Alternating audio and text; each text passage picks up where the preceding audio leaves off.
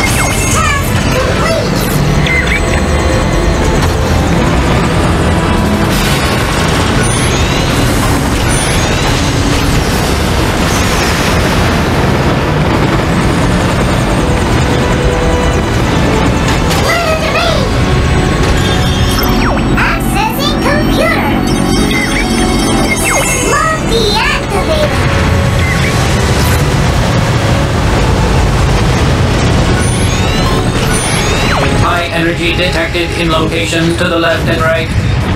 Those energy beams appear to be powering the base's shields.